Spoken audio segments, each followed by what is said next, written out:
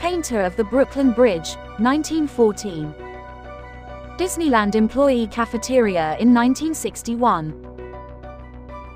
Massive crowds gather for the first Woodstock, 1969. The Real Winnie the Pooh and Christopher Robin, 1927. Women Delivering Ice, 1918. The Beatles play for 18 people in the Aldershot Club, December 1961. They were to become superstars in one and a half year. The first ever underground train journey, Edgware Road Station, London, 1862. Customers at a London music store, 1955.